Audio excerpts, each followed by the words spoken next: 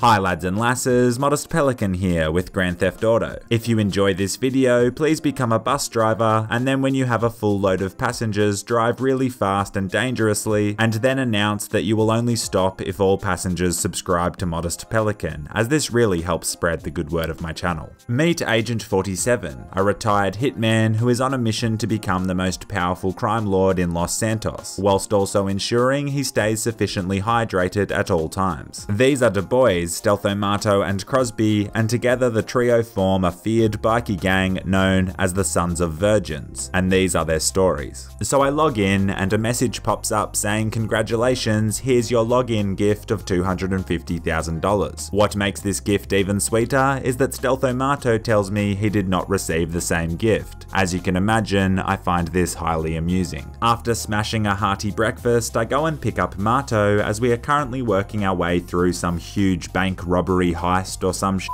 Honestly, Crosby is the brains of the operation, Mato and I mostly just look pretty and murder hookers. On our way to meet Crosby, we find something peculiar, a wild noob frolicking in Vinewood Hills. Seeing a noob outside of Call of Duty captivity is actually quite rare, so naturally we watch and learn as the little fella tries to climb on top of this house. I don't know why he wants to get up there, but that's the beauty of noobs, they are such fascinating and curious creatures. They scare easily though, and he becomes spooked and makes a run for it. Stealth-O-Mato then proceeds to gun him down. Enough goofing around though, we need to meet Crosby as we have business to attend to. Now I don't know how you guys drive around in Grand Theft Auto, but sometimes I like to prove how big my penis is by going off-road and sending it at every opportunity. Just my luck though, as I get a little bit too egotistical about my driving skills and accidentally sink the car in a river, which is the worst kind of moist. Not to worry though, we'll just jack a civilian's car, or dare I say,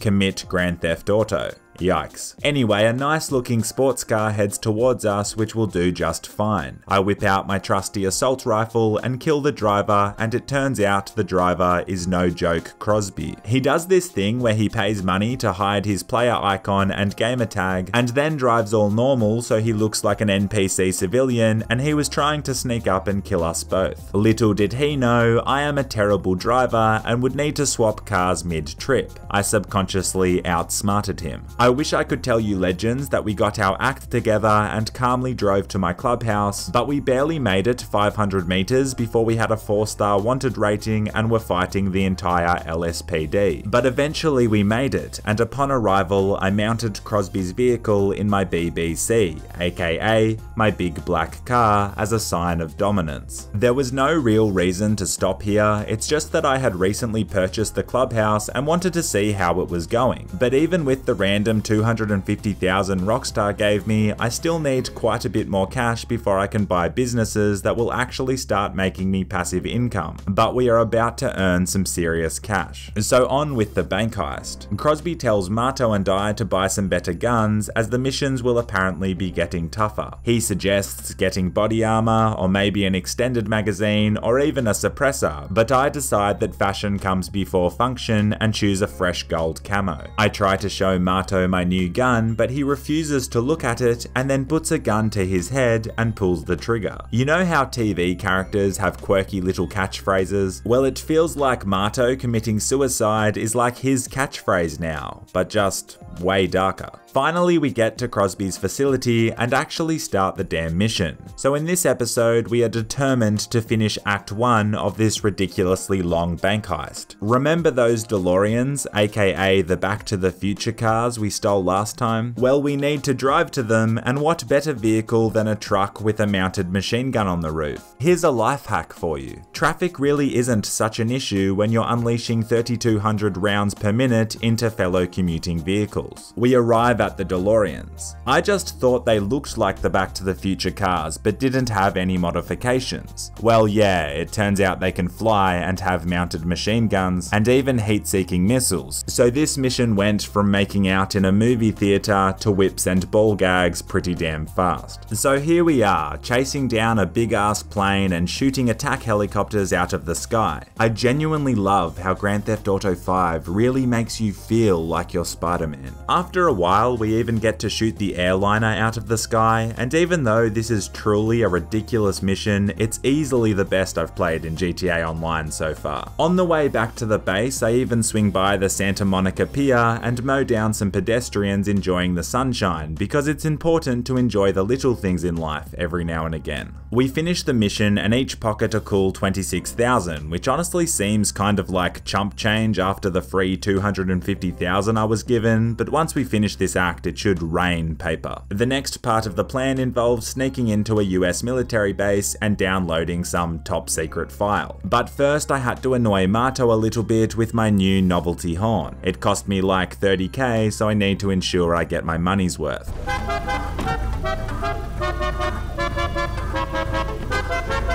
I play the horn like one or 20 more times and then Crosby shoots me in the head, which I think we can all agree was a justifiable decision. Anyway, sneaking into a US military base. This is vintage Agent 47 as going undercover is his bread and butter. We stroll past the guards in our flawless disguises of khaki sweaters that could have been purchased literally anywhere. Our objective is simple, get to the top floor. Now I'm no mission designer, right? But we have to now walk up like 50 floors flights of stairs. One moment we are shooting aircraft out of the sky in flying cars, and now we are forced to play Stair Simulator 2019. Not sure how this one slipped through the cracks at Rockstar Studios, but Agent 47 is going to have a thicker booty than my thumbnails after all these god-forsaken steps. After a million hours, we get to the control room and download the file, and then guess what? Back down all the stairs. What the actual well, whatever, at least it's over now. We just need to steal a stealth chopper and get the hell out of here. There's a lot of soldiers waiting for us, and we begin to take some serious fire, but we should be okay, and then Crosby 7885 disconnects. You know I'm mad because I said his full name. Now I'm not exactly sure who would be at the top of a list of the organizations you don't want to piss off, but I'm going to take an educated guess and say that the US military is right up there, and we don't have Crosby with us anymore.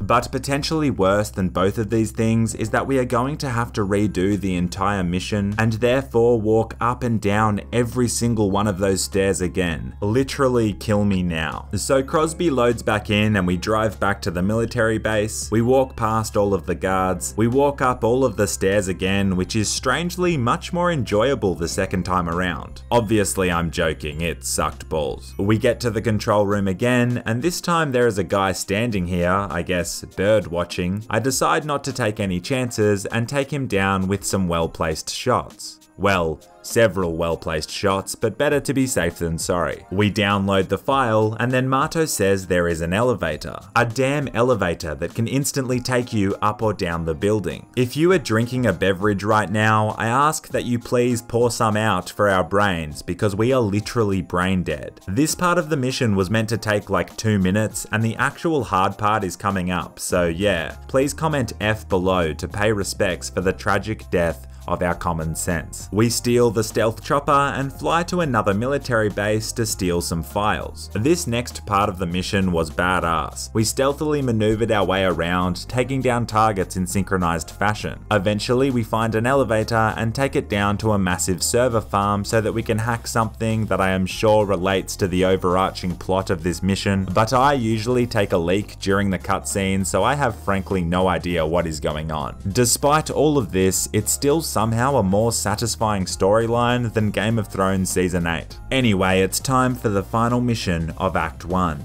Mato goes AFK for a moment before we begin, and Crosby and I know exactly what we have to do. I find this weird car with an anime girl on it, and so I position it right in front of Mato so it is the first thing he sees when he comes back to his controller. While I am doing this, Crosby places several sticky bombs on Mato's back. We then patiently wait for him to come back to his controller, and then the second we hear him laugh at the pink anime car, Crosby detonates the bombs for the easy kill. A younger Agent 47 would be proud of that calculated assassination. The real mission is that we have to raid a government facility which is currently being raided by some terrorists. So plot twist, we did at one stage take on the US military, but we were actually helping them the entire time and are now currently saving this base from being hacked. So we are now the good guys again. Well, I mean, my mind is now flashing back to when I road killed a bunch of civilians on Santa Monica Pier, and plus the dozens of guards we have killed, so calling ourselves good guys might be a little bit of a stretch, but like, we aren't as bad as before. So we save the base and then Oprah walks in and is like, well done gentlemen, we will now pay you a lot of money for your work. She tells us to look under our seats, and so I look under my seat and pocket a cool $293,000, which means we can now buy ourselves a business.